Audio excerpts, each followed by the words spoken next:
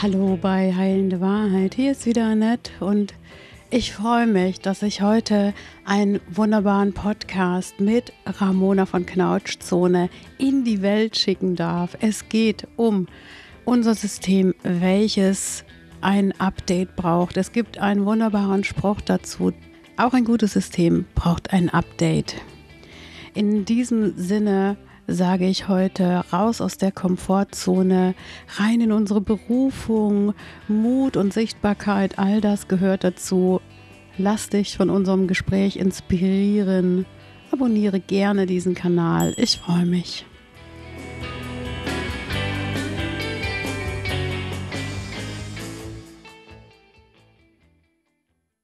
Hallo wieder bei Heilende Wahrheit. Heute einen wunderbaren Podcast mit einer Gästin, die ich schon mal zu Besuch bei mir bei Heilende Wahrheit hatte. Es ist Ramona. Grüß dich von Knautschzone. Hallo. Hallo, schön, dass wir uns wieder mal gemeinsam zu einem Gespräch treffen. Freut mich sehr.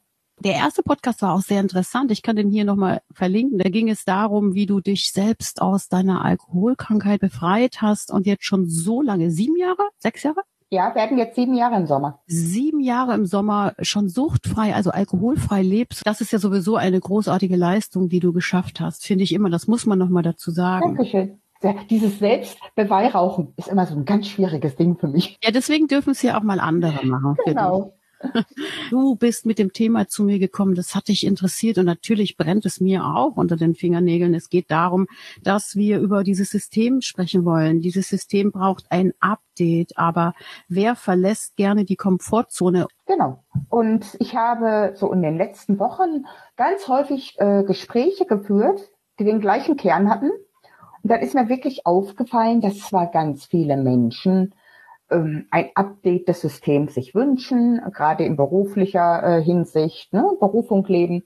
Aber wenn es dann darauf ankommt, sie dann doch lieber verschreckt in ihrer Komfortzone sitzen bleiben. Und so kann das nicht funktionieren, ist mir klar geworden. Ja.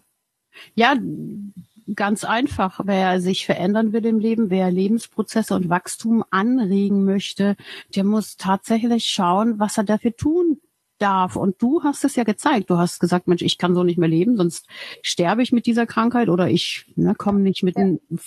voran halt. Bei mir war es ähnlich. Ich musste mich auch meiner Komfortzone stellen. Das heißt, wir müssen uns unseren Ängsten stellen. Und wenn wir von diesem System sprechen, weil du von Berufung sprichst, frage ich mich, warum viele Menschen eigentlich immer noch in Berufen drin hängen und funktionieren. Genau, das ist nämlich genau der Punkt. Sie funktionieren, sind oft damit unglücklich. Und wenn man dann Vorschläge macht und sagt, ja, eigentlich müsste man ja auch mal ins kalte Wasser springen und mal schauen, was passiert und so weiter. Nee, nee, nee, das geht aber nicht. Jetzt hast du es ja auch gemacht mit deiner Krankheit. Es war am Anfang wahrscheinlich für dich ja auch Neuland, alles ohne Alkohol zu erleben. Wie ist das, wenn wir darüber sprechen, dass dieses System ein Update braucht? Was müsste der Mensch eigentlich leisten, wenn er dieses System hinterfragt und die Komfortzone hinterfragt. Das heißt, mir ist ein Satz gekommen, die so ein bisschen auch natürlich noch das andere Jahrhundert beschreibt, aber vielleicht dieses Jahrhundert auch. Die besten, perfekten Sklaven sind die, die sich glücklich und unbewusst versklaven lassen. Gehört das auch ein bisschen zu diesem Funktionieren in dieser Gesellschaft? Ja, eigentlich gehört es dazu, ja. Weil wir streben, das kann ich auch verstehen, der Mensch strebt ja nun mal nach Sicherheit. Und das Sicherheitsbedürfnis will nun mal befriedigt werden. Das ist auch ganz normal. Nur wir sind schon so da reingerutscht, dass es normal ist, das System auch gleichzeitig zu befriedigen damit. Ja, also als ich zum Beispiel mit der Knautschzone rausgegangen bin und wirklich ganz offen gemacht habe, ähm, mit meiner Alkoholsucht und auch meine Essstörung, Leute, ne, die schon mal bei mir reingehört haben, wissen, das ist so ein bunter Teller, den ich so mitgebracht habe haben ganz viele Menschen gesagt, tu es nicht. Tu es nicht, weil stell dir vor, du möchtest mal wieder in deinen alten Job zurück oder was Neues anfangen und jemand hört das. Da kriegst du kein Bein mehr auf dem Boden. Das ist eine berechtigte Angst, aber ich sage mittlerweile, wieso? Mehr Ehrlichkeit kann ein Arbeitgeber von mir gar nicht bekommen. Wenn man sich nämlich in die Sichtbarkeit begibt und viel von sich zeigt, auch verletzende Anteile, ja, die ja gerade auch noch heilen müssen, wenn es frisch ist zum Beispiel, ne? Ja. Wenn man schon länger den Abstand dazu hat und Menschen, die vielleicht auch einen guten Background haben zu ihrer Gesundheit, die einfach auch gesettelter sind als Menschen, die schon mal gebeutelt wurden durch ihre Geschichte, die haben natürlich einen anderen Zugang zu dieser Reflexion dieses Systems. Das heißt aber nicht, dass es falsch ist. Das heißt ja wieder, da steht ein Glaubenssatz von anderen Menschen drüber. Hey, wenn du das machst, bist du angreifbar. Also das heißt, Richtig. die Angst, das heißt, die Angst steckt ja in jedem von uns drin. Ja, natürlich. Das ist ja dieses typische Sicherheitsbedürfnis. Ja, das kann ich gut verstehen. Natürlich muss das gut überlegt sein und man muss auch äh, im Hinterkopf haben, wenn ich angegriffen werde, kann ich damit umgehen. Aber ich darf meiner Meinung nach mich nicht nur dieser Angst unterwerfen. Ganz mhm. viele tolle Kanäle oder auch Menschen, die Bücher geschrieben haben über Sucht, über Trauma, sonst irgendwas. Wenn die das gemacht hätten, gäbe es diese Hilfe heute gar nicht. Ja, das ist ja wie mit Luther, der die Thesen an die Tür genagelt hat und gesagt hat, Leute, wir brauchen eine Reform. Ja? Richtig.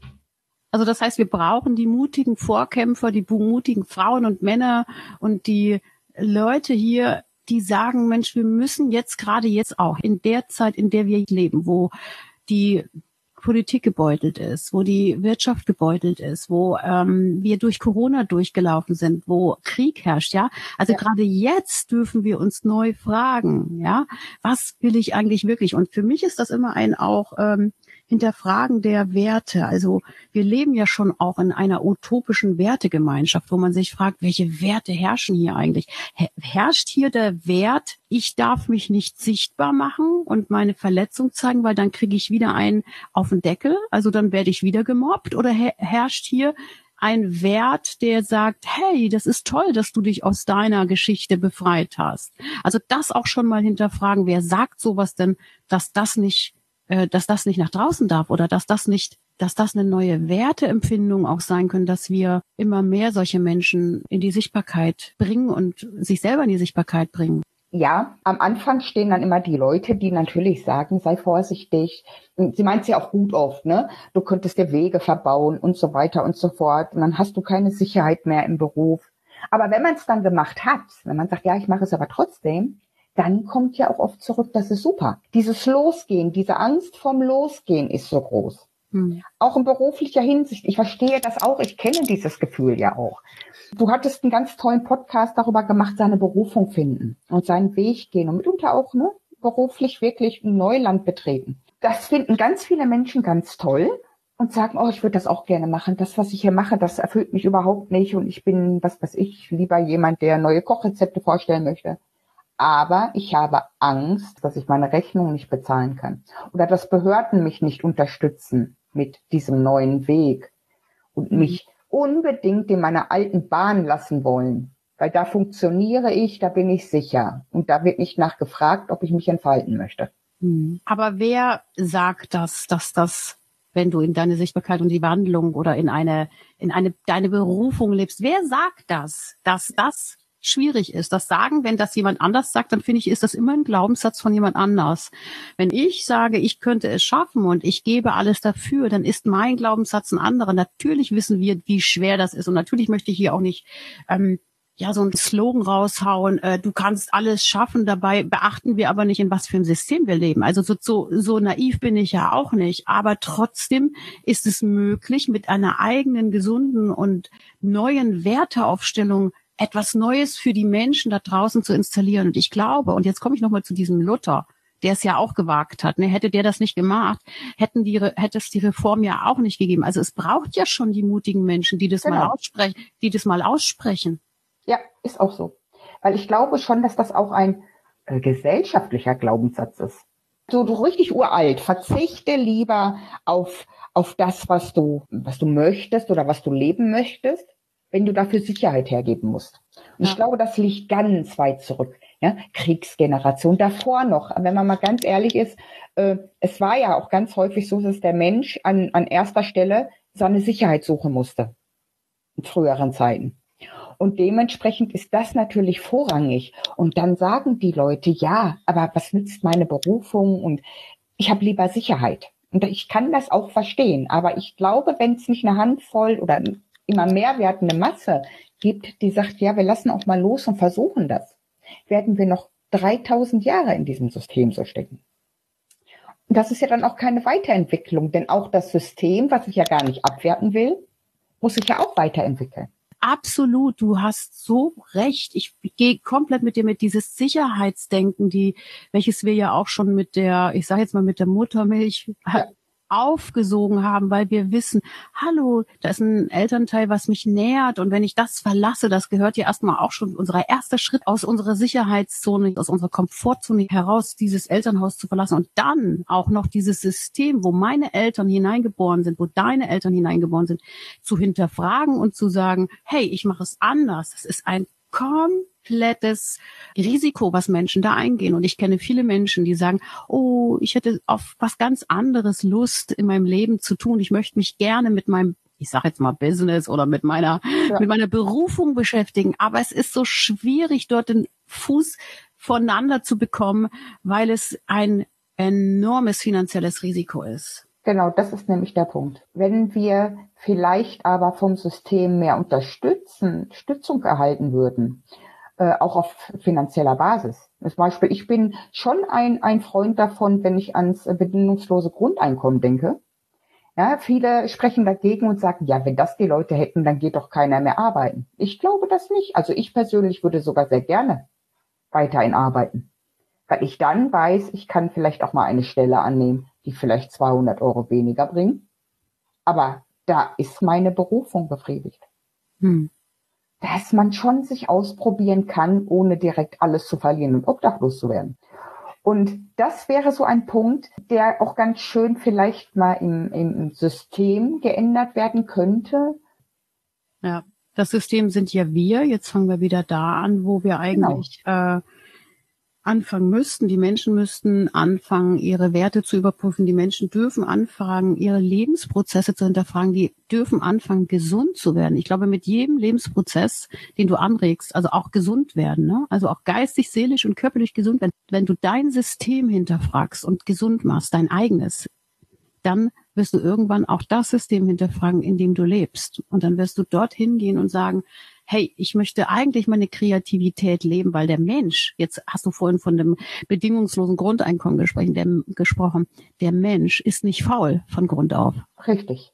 Wenn der gesund ist und wenn der fit ist, hat der ohne Ende Potenziale und ist kreativ und hat Ideen, wie er etwas nach draußen geben kann, auch Menschen, die gesundet sind und gereift sind, ja, die haben mit 60, 50, 80 noch Ideen, wie sie ihr Potenzial nach draußen geben könnten. Ganz genau, und, sehe ich genauso.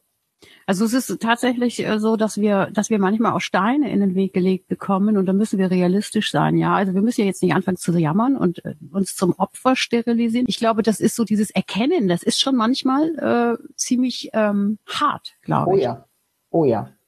Ich sage ja, es mhm. waren ganz viele Leute, die mir abgeraten haben, damit rauszugehen, gesagt haben, nee, da nimmst du dir zu viele Chancen. Und ich habe irgendwann gesagt, aber ich möchte nicht mehr überlügen. Weil im Endeffekt ist es ja, wenn man sich das Leben in der Biografie schön redet, im Vorstellungsgespräch, ich möchte ehrlich sein können. Und dann möchte ich genommen werden.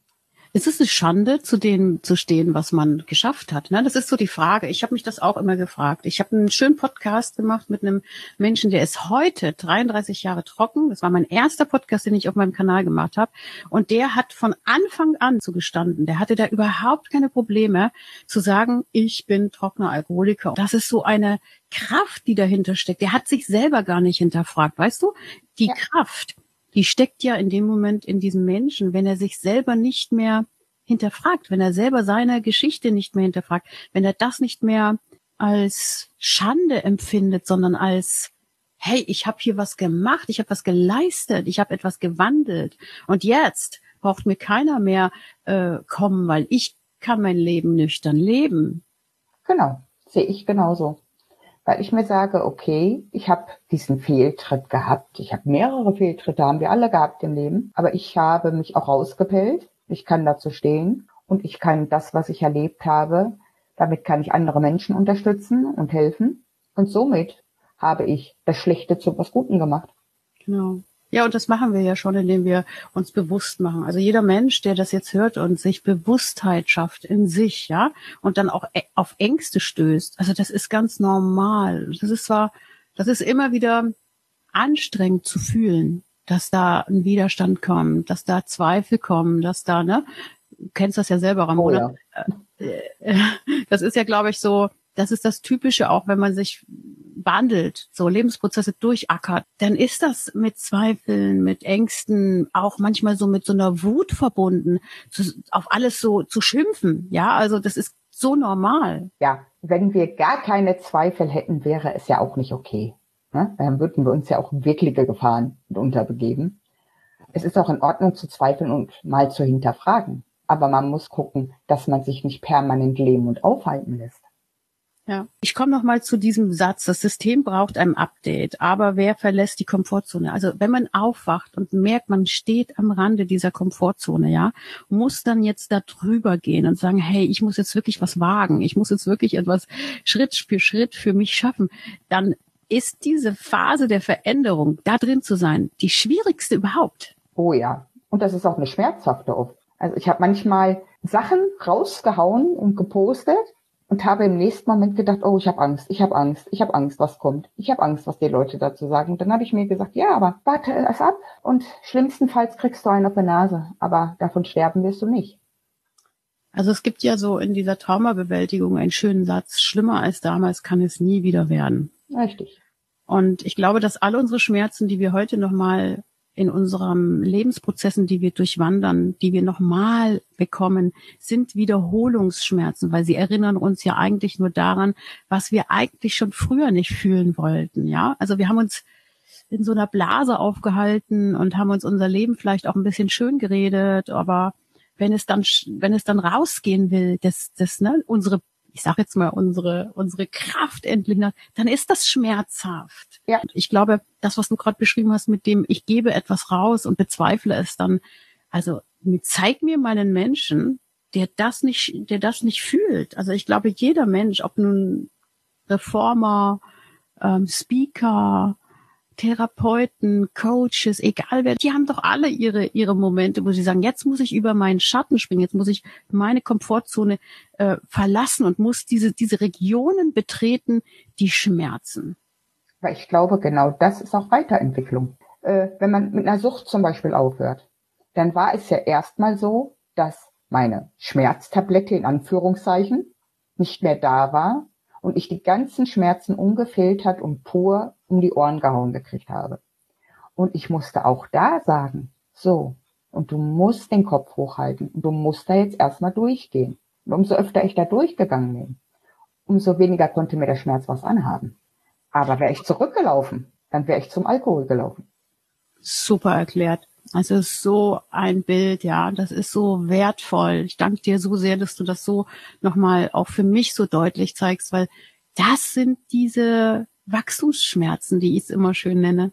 Ja, ja, ist es auch. Es ist ja. ein Wachstumsschmerz, ja. der dich aber größer werden lässt, steckt schon im Wachstum, wie du schon sagst. Ja. Weißt du, und wenn du sagst, ähm, dass es nochmal deutlicher wird, wenn man etwas verlässt, ich glaube, jeder Mensch, der der sich so in dieser Zeit so fragt, Mensch, ist das alles noch richtig, was ich hier mache? Und eigentlich will ich was ganz anderes machen. Und ich hätte so gerne da die Idee und da die, die kann ich wirklich raten. Macht es doch erstmal so als Hobby. Also versucht es wirklich erstmal so nebenbei zu installieren. Ne? Also wenn du gesund werden willst, musst du deine ganze Kraft da hineinstecken. Das kannst du nicht nebenbei machen. Richtig. Aber aber so eine Berufung checken, ne? ist das jetzt äh, das, was ich wirklich ein Leben lang neu machen möchte? Und kann ich die das Risiko, ja, wenn wir wenn wir das System jetzt mal updaten, mein eigenes, ja, kann ich aus meiner Komfortzone raus einfach mal probieren. Es gibt es gibt so viele tolle Medien, wo man sich zeigen kann, wo man einen eigenen Blog kreieren kann, wo man sich, ja, wo man erstmal ausprobieren kann, ist das denn der Ausdruck, den ich überhaupt wagen möchte? Weißt du, was ich meine? Genau. Und das ist ja etwas, da haben wir ja nun mal im Gegensatz zu unseren Ahnen einen großen Vorteil. Mit den neuen Medien, mit Social Media, hast du die Möglichkeit, das auszuprobieren. Und du ja. kannst auch sagen, nee, das war's nicht, habe ich ein Jahr gemacht, das war's nicht und jetzt gehe ich wieder. Das wird dir keiner den Kopf abreißen. Kann man doch wirklich positiv dann nutzen. Aber wenn man natürlich voller Angst steckt und sagt, nein, und da muss ich mich zeigen und dann habe ich davor wieder Angst und davor wieder Angst, dann wird sich da kein Update äh, installieren. Ja. Also du sprichst auch ganz deutlich immer wieder die Sichtbarkeit an, die, ja. die, die, die, das machst du ja äh, eigentlich schon seit von Anfang an unseres Gesprächs und das, und das ist, glaube ich, eine Wahrheit, die du da aussprichst, wenn man sich nicht in die Sichtbarkeit begeben möchte, dann muss man zu Hause bleiben mit seiner Berufung. Dann ist es halt nichts für die Öffentlichkeit. Dann muss man sich entscheiden, ja. Viele Menschen angeln für sich selber. Die häkeln für sich selber. Die sind Tierschützer für sich selber. Die sind ähm, Aktivisten für sich selber. Die müssen das nicht nach draußen tragen. Also das darf man ja auch leben. Richtig. Dann ist es ja auch eine Berufung. Dann mhm. ist es eine Sache, die ich für mich, für mein Seelenleben benötige. Und dann ist das genauso eine Berufung, als wenn man nach draußen geht. Aber zu sagen, wenn jemand nach draußen geht, es ist gefährlich. Ja, es ist gefährlich. Aber es ist auch gefährlich, wenn ich über die Straße gehe. Das weiß ich. Ich bin als Kind zweimal überfahren worden. Also trotzdem bin ich danach wieder raus und bin spielen gegangen. Mhm. Ne? Später, nachdem ich dann, ich war ein Dreivierteljahr im Rollstuhl. Wenn ich jetzt ewig gesagt hätte, es ist gefährlich, über die Straße zu gehen, dann hätte ich mein Haus nie wieder verlassen. Das ist schon, das ist natürlich ein guter Vergleich, den du da gerade bringst, ne? weil du hast es erlebt, Worauf ich gerne nochmal zurückkommen möchte, ist dieses aus der Komfortzone heraustreten heißt vielleicht auch, ich muss mich äh, meinem Konsumverhalten stellen, weißt du? Äh, weil viele Menschen denken ja, sie, sie gehen jetzt dieser Berufung nach, sie wollen sich selber ausleben, dann wird mein Leben reich und glücklich. Natürlich bist du glücklich, wenn du deine Berufung nachgehst. Natürlich wirst du äh, freier in dir sein. Aber was soll denn eigentlich zum Schluss für mich dabei herauskommen? Möchte ich ein dickes Auto fahren? Möchte ich vielleicht einfach nur unabhängig sein? Ja, das würde doch schon reichen. Also in erster Linie finde ich, also meiner Meinung nach, ähm, sollte dabei rauskommen, dass man sagt, ich habe genau das gemacht, was ich wollte. Und natürlich sollte auch auf zweitem Wege, äh, man sollte vielleicht ein Dach über dem Kopf bezahlen können, ne? dass man so zumindest überleben kann und, und nicht vom Staat abhängig ist oder von irgendeinem Beruf, der einen quält. Aber reich, reich finde ich schon wieder, hm, ist das eine Berufung? Aber das ist ja genau das, das hast du schön gesagt. Ist das die Berufung? Weil wenn dahinter ja der Glaubenssatz steht, ich mache mich jetzt frei von allem und dahinter steht dann die, der Reichtum, weißt du, dann ist das ja schon wieder so ein Ziel, wo ich denke, mein Gott, da muss ich aber ganz schön schaffen und rackern und machen genau. und mich wieder neu versklaven meines neuen Glaubenssatzes. Genau. Denn das ist dann wieder ein Punkt, der hat mich dann nur wieder in ein anderes System gestoßen. Ja, also können wir unser Konsumverhalten auch mal hinterfragen. Vielleicht ist ja weniger dann auch mehr. Genau. Ich habe mal ähm, irgendwann eine Dokumentation gesehen von jemand, der sich aus Reichtum befreit hat und wirklich nur eine ganz kleine Einzimmerwohnung hinterher hatte, aber freiwillig und ein ganz kleines Auto. Und der sagte mal den Satz, umso mehr ich besitze, umso mehr muss ich darauf auch aufpassen. Zwingt mich in die Knie. Und das ist auch so.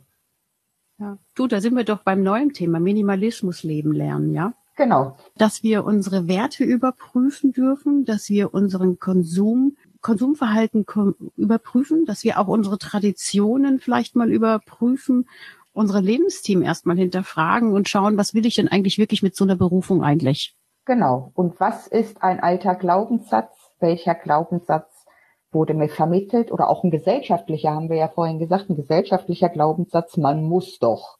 Und eigentlich muss man ja nicht. Wir glauben nur, man muss doch. Ja, guck mal, da hauen wir wieder einen wertvollen Content für die Leute raus.